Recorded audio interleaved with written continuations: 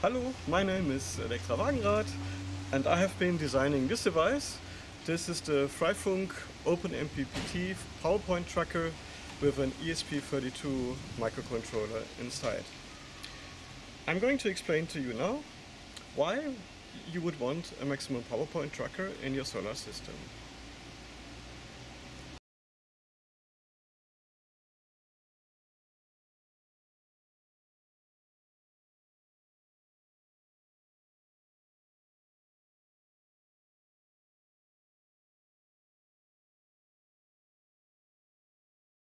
This diagram shows you the relationship between voltage and current of a silicon-based solar cell under varying levels of solar irradiation.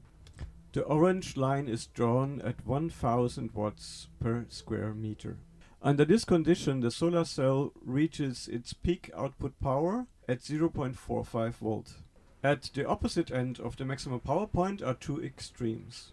On the right side we can see what happens if the cell is idle. Then it produces maximum voltage but zero current, which makes zero watts, so the output is zero. And on the left hand side, if we short the terminals of the solar panel, then we get maximum current, but zero voltage, and therefore the power again is zero. If we connect the battery straight to the solar panel, or even if you put a very simple solar charge controller in between that doesn't have maximum power point tracking, we are losing power because the behavior of the solar generator is not adapted to the behavior of the battery. A solar generator has a relatively high internal resistance and the battery has a very low internal resistance. So if we connect them together, the battery will ask more current than the generator can produce and therefore the voltage in the solar generator will drop down. On the other hand, if we put a maximum power point tracker in between, it can calculate at which point of voltage it gets the peak power.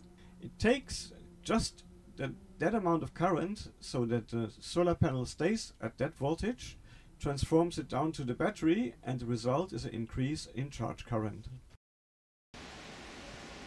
This is a small solar panel for 12 volt systems. It's rated at 30 watts which is typically not exactly what you get from the solar module because solar panels when they get tested they're tested at a cell temperature of about 25 degrees and if you have strong sun irradiation shining on the solar panel then they get considerably hot and therefore they lose a, a little bit of the voltage that they produce. Now let's take a look on the back side of the panel to check the specs, which are printed on a little label. The peak power is rated at 30 watts. Therefore, what WP, watts peak. There's a, they give a tolerance, so if you're lucky, you get up to 3% more than the rate. The module is defined by the open circuit voltage, this is the voltage that you can see if the voltage is idle, so if it doesn't have to produce any current. So when you put it into the sun and there is no load, this is the amount of voltage that you expect at 1000 watts of solar energy per square meter. Then we have maximum power voltage, VMP. This is the voltage where the, where the product of voltage multipl multiplied with current produces 30 watts. So this is the maximum power point with, as you guess it, maximum power. Then we can see short circuit current. This is when we short the positive and negative terminal of the module. It will produce yeah, zero voltage, but maximum current, which is 1.65 in this, in this panel. And then the next item is max power current. That means at max power voltage in 1000 watts of irradiation it can produce up to 1.53 amperes. And if we multiply 1.53 amperes with 19.7 volts, we get 30 watts.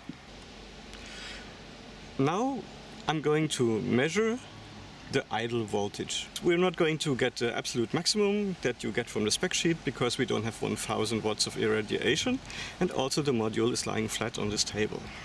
The digital multimeter is set to measure voltage, 200 volts DC.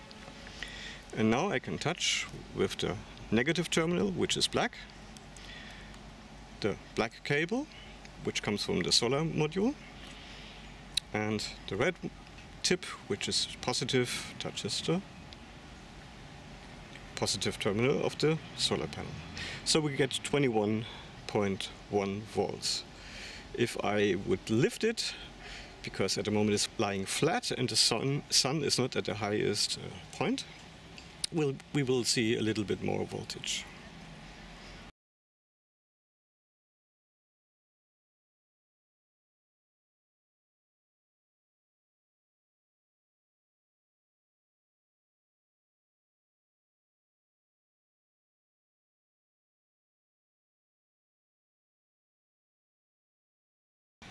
I have now provisionally uh, elevated the solar module so it has a steeper angle.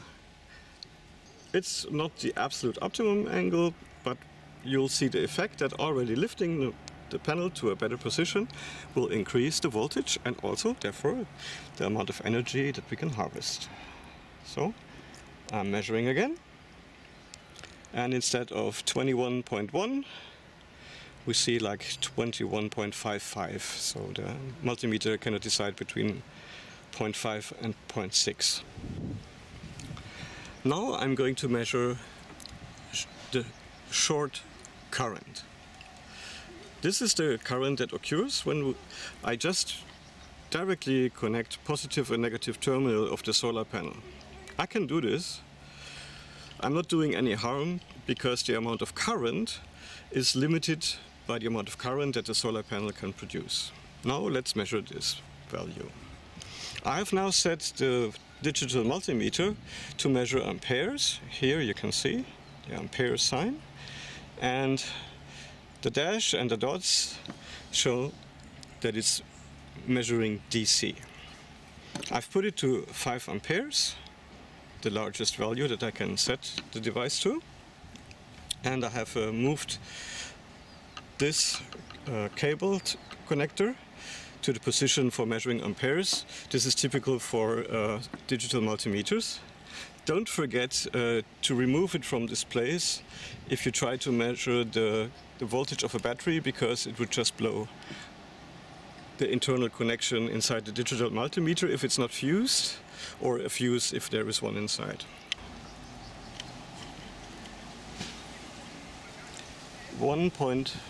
1.47.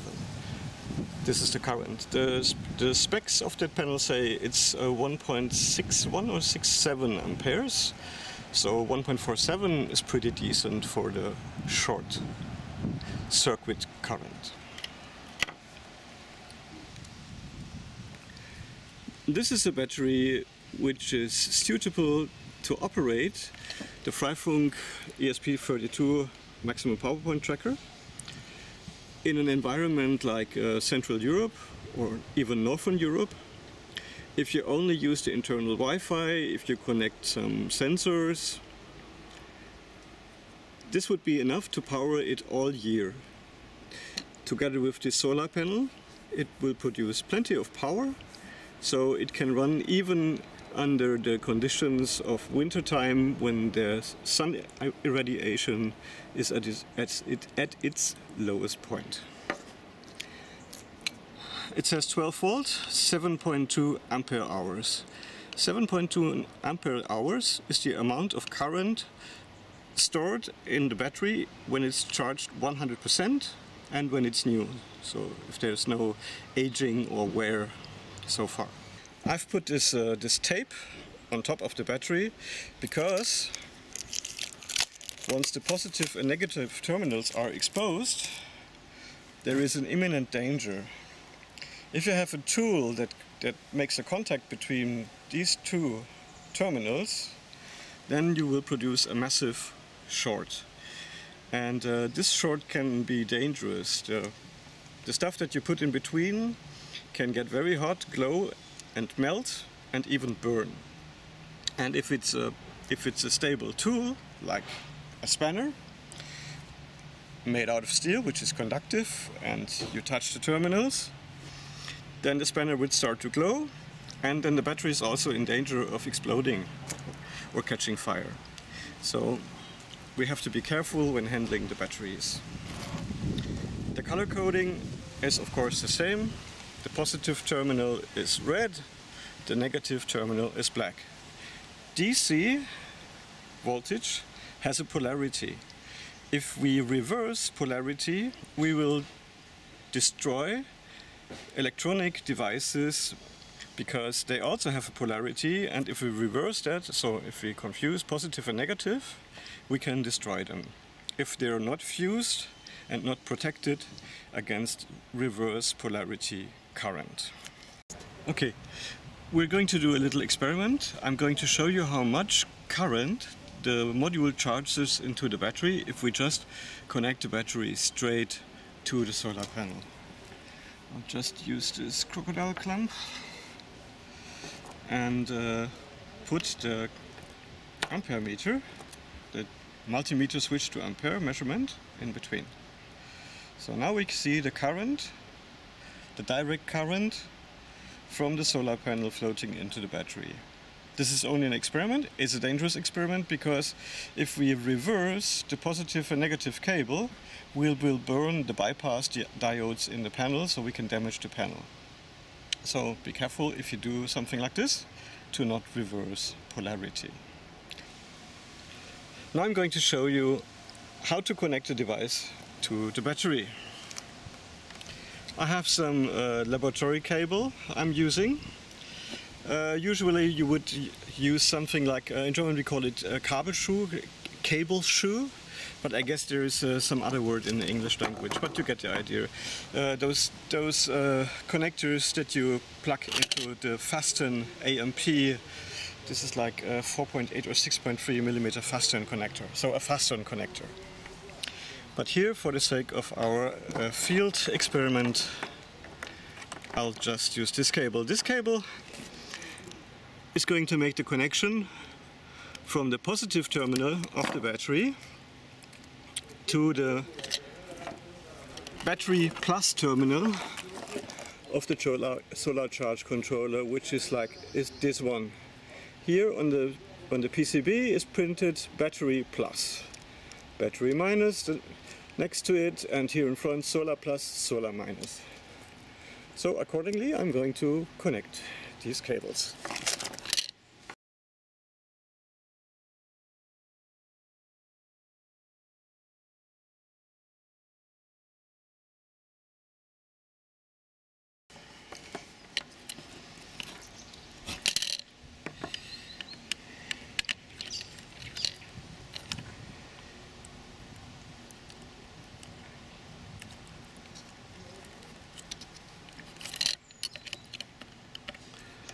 make sure that the internal wires from the cable don't make a short to the clamp next to it.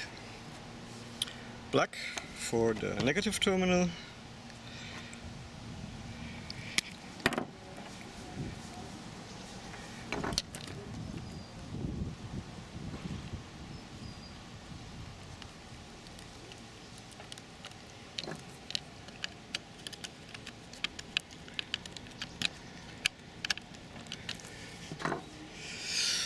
before I connect it to the battery. Solar. That's the connector here. Number two. From the left side. I have to open terminal a bit.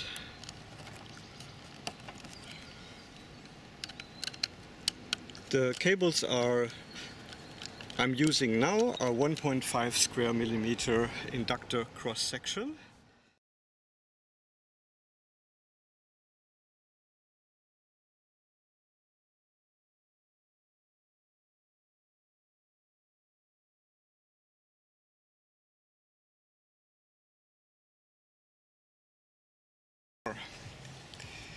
Now, before I'm going to connect it to the battery, I also attach the temperature sensor. The temperature sensor is, is connected here. It doesn't have a polarity, so it doesn't matter if you plug it in this or that way. This is actually a, a resistor that is temperature dependent and usually you would just attach it to the battery with some gaffer tape or just yeah some adhesive tape. What it does, it measures the temperature of the battery and corrects the charging voltage. If the battery is hot, the charging voltage has to be reduced. If the battery gets even hotter, above 40 degrees, the device will stop charging. So make sure you don't operate the battery for extended amounts of time in direct sunlight because it will overheat and then the device will stop charging. So you will wonder why the battery is not full. Well, then it's because the battery got too hot. I don't have any duct tape here, but I guess you see my point. So before I connect the solar panel, I connect the battery and the last thing I'm doing is I connect the positive terminal, terminal of the solar panel.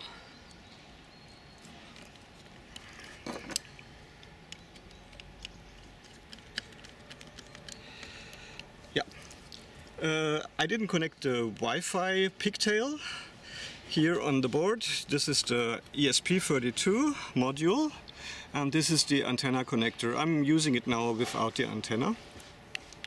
But of course, if you're going to install it in the field and you want to use Wi-Fi, then you will of course install an antenna. It's kind of not, recommended to operate the microcontroller without an antenna, but I know that they, are, they will survive even running Wi-Fi without an antenna connected. So this is the current coming in from the solar panel.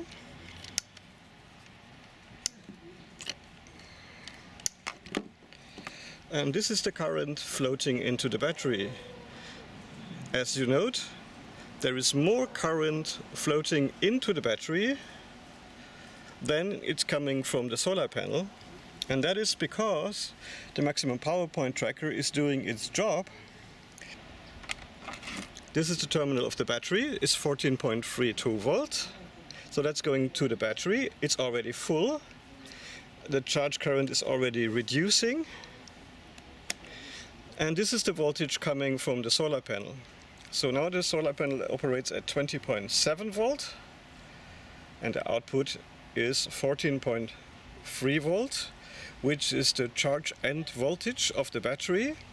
The battery is already pretty much full and the solar tr the tracker, the solar charge controller, is reducing the current floating into the battery so it slowly gets full without overcharging it. Because if we would not regulate the voltage and the current from the solar panel, the battery would be overcharged, get hot, the water component inside the electrolyte of the battery would get cracked into hydrogen and oxygen. The battery would lose electrolyte, uh, dry out, and be damaged. So the charge controller is always necessary to prevent damaging the battery from overcharging and it also the charge controller also protects against deep discharge which is another way to kill the battery to discharge it beyond or below a certain level of charge. I have to mention that in this experiment the maximum power point tracker was not operating at the maximum power point. It was deliberately increasing the tracking point above the maximum power point in order to reduce the amount of current that floats into the battery. Nevertheless, we have the numbers of ingoing and outgoing power, so we can calculate the efficiency of the device. So 4.76 watts came from the solar panel and 4.15 watts went into the battery. So if we calculate the output divided by the input, we get the efficiency, which is in this case 82.1%. This isn't so exciting because there is a loss, or seems there seems to be a loss of 0.61 watts. But that's not the entire truth to the story, because In this experiment, I was running the access point and the station interface of the ESP32. In access point mode, the ESP doesn't put the Wi-Fi radio to sleep, so it's always on. It's sending beacons and the Wi-Fi receiver is never turned off in order to save power, which is a feature of the Wi-Fi station mode because transmitting Wi-Fi is expensive with regards to power consumption and Wi-Fi reception is also expensive with regards to power consumption. So the average power consumption of the Wi-Fi interface was 0.49 watts. And if we take into account that this power was consumed on the board in order to provide Wi-Fi, then the efficiency is 97.5%. That value is not 100% accurate because the clamp ampere meter also has a measurement error. It's pretty accurate, but of course it could be a little bit off. Nevertheless, the board has been designed to operate at 100 watts solar input with an efficiency of 95%.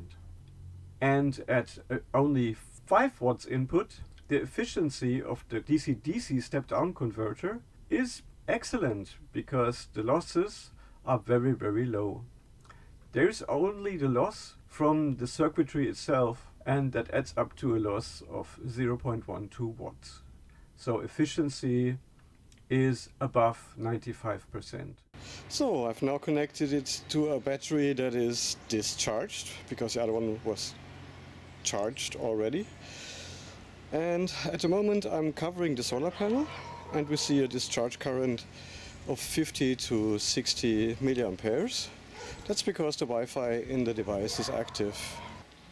So now the MPP tracker is connected. You can see that uh, the charge current is now 1.56 amperes. And I'm now going to measure with the second instrument the voltage that goes to the battery. So the voltage going to the battery is 12.47 volts. So now let's compare again without the MPP tracker in place. 12.21 so 1.35 amperes 12.21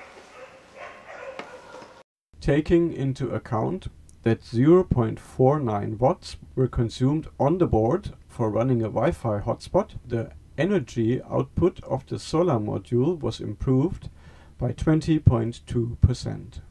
I have to note that all measurements were made at about 600 watts per square meter of irradiation and about 35 degrees of solar module temperature. In October 2021 in Berlin, in very hot climate, the negative temperature coefficient reduces the amount of voltage of the maximum power point. Therefore, maximum power point tracking is not as efficient in hot climates as it is in cold climates. So what we didn't do today is to connect a consumer to the load output of the device.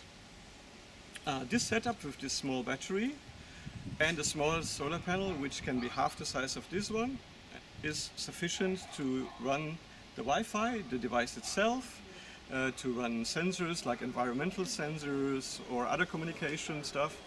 Um, so it's an autonomous network node yeah, or sensor node.